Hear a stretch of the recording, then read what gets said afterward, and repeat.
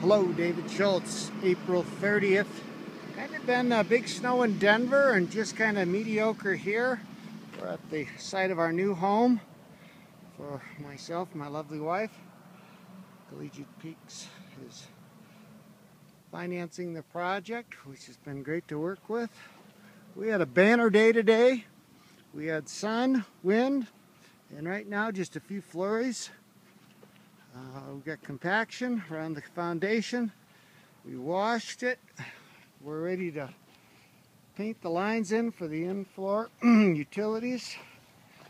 And uh, Jeff's did a beautiful job of getting this to slope and grading away from the home.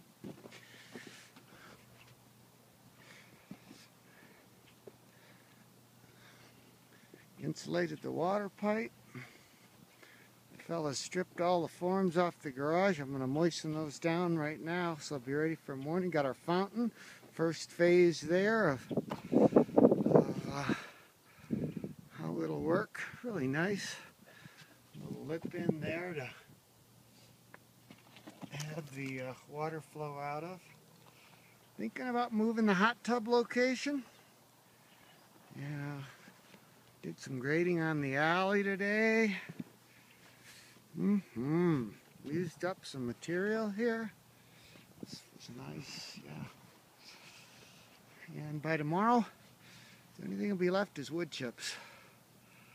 That's my goal. So, for David Schultz here in Salida, Colorado, perhaps our last snow of spring. So long for now.